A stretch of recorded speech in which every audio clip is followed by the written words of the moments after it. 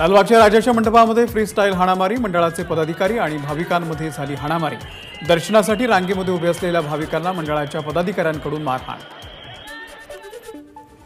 ठाकरे गटाचे आमदार अपात्रते प्रकरणामध्ये सुनावणी पंचवीस सप्टेंबरला. सुप्रीम कोर्टाच्या आदेशानंतर विधानसभेचे अध्यक्ष राहुल नार्वेकर घेणार सुनावणी सूत्रांची माहिती. सुप्रीम कोर्टानं एका आठवड्यामध्ये सुनावणी घेण्याचे दिले होते आदेश. शरद पवार गटाच्या विरोधामध्ये अजित पवार गटाचाही आक्रमक पवित्रा. शरद पवार गटातील आमदारांना अपात्र करण्याची अजित पवार गटाची विधिमंडळामध्ये याचिका.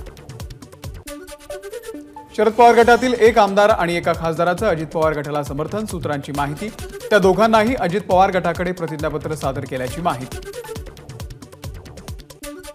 मराठा समाजाचे आरक्षण मर्यादा वाढवण्याच्या मागणीसाठी महाराष्ट्रातील सर्वपक्षीय खासदार घेणार पंतप्रधान मोदींची भेट. तमिळनाडूच्या धर्तीवरती महाराष्ट्रामध्ये निर्णय घेण्याचा खासदार धरणार आग्रह. गृहमंत्री अमित शहा उद्या मुंबईच्या दौऱ्यावर लालबागच्या राजाचं दर्शन घेणार. मुख्यमंत्री एकनाथ शिंदे उपमुख्यमंत्री देवेंद्र फडणवीस यांच्याही घरी जाऊन घेणार गणपती बाप्पाचं दर्शन. आदित्य ठाकरे आज मध्य प्रदेशच्या दौऱ्यावर. मध्य प्रदेशच्या छिंदवाडा जिल्ह्यामध्ये पांढुर्णा येथे छत्रपती शिवाजी महाराज यांचा भव्य पुतळा उभारण्यात आला. या पुतळ्याच्या अनावरणासाठी आदित्य ठाकरे उपस्थित राहणार.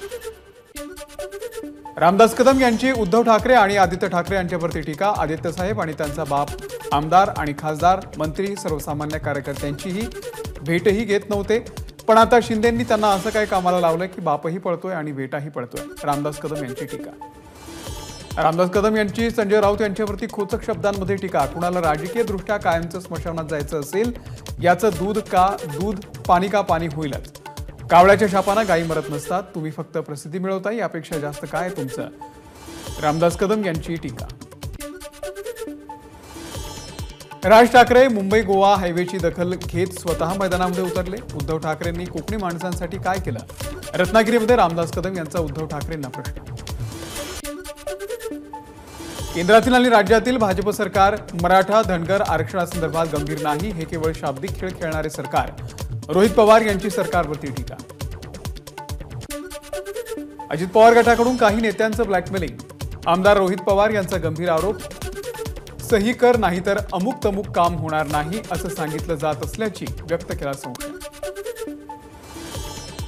संसदेच्या विशेष अधिवेशनामध्ये काहीच विशेष नव्हतं. काल पंतप्रधानांचा हिंदू तिथीप्रमाणे वाढदिवस असल्यानं हा घाट घालण्यात आला होता. खासदार संजय राऊत यांची टीका.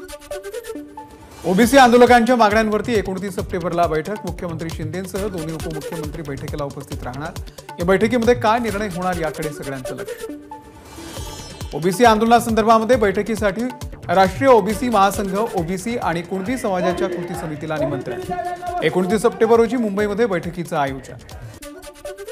चौंडी येथील धनगर आरक्षणाच्या मागणीसाठी सुरू असलेल्या आंदोलनाचा आज सतरावा दिवस. सरकारसोबतची बैठक निष्फळ ठरल्यानं आंदोलक उपोषणावरती ठाम. सातारा जिल्ह्यातील दहिवडी येथे धनगर आरक्षणाच्या मागणीसाठी आमरण उपोषण. आमदार गोपीचंद पडळकर यांनी घेतली उपोषणकर्त्यांची भेट. चंद्रपूरमध्ये रवींद्र टोंगेंच्या अन्नत्याग आंदोलनाचा आज बारावा दिवस. टोंगे यांची प्रकृती खालावल्यानं जिल्हा सामान्य रुग्णालयातील अतिदक्षता कक्षामध्ये त्यांना दाखल केलाय.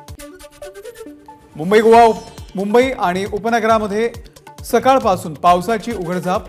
भांडूपच्या एलबीएस मार्गावरती साचलं पाणी. यामुळे मार्गावरती मोठी वाहतूक कोंडली आज सकाळपासून नागपूरमध्ये पावसाचा जोर वाढला. अनेक नद्यांना पूर. सकाळपासून नागपूरकरांचं जनजीवन विस्कळीत. नागपूरमधील काटोल तालुक्यातील पावसाची जोरदार हजेरी मुसळधार पावसामुळे शेतामध्ये तोडून ठेवलेली जवळपास सहा टन मोसंबी गेली वाहून. भंडाऱ्यामध्ये सलग तिसऱ्या दिवशी जोरदार पावसाची हजेरी. पावसामुळे भात आणि भात पिकाला धोका.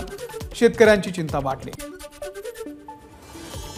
वर्धा जिल्ह्याच्या वेगवेगळ्या भागांमध्ये विजांच्या कडकडाटासह जोरदार पाऊस हवामान विभागाच्या वतीनं आज आणि शुक्रवारी येलो अलर्ट यवतमाळच्या झरी तालुक्यातील काही भागांमध्ये पावसाची जोरदार हजेरी पावसामुळे परिसरात शेती पाण्याखाली कपाशी सोयाबीन तूर आणि मिरचीच्या पिकाला अधिक फटका.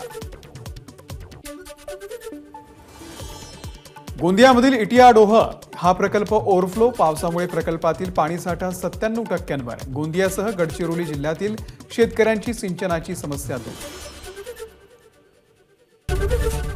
एबीपी माझा.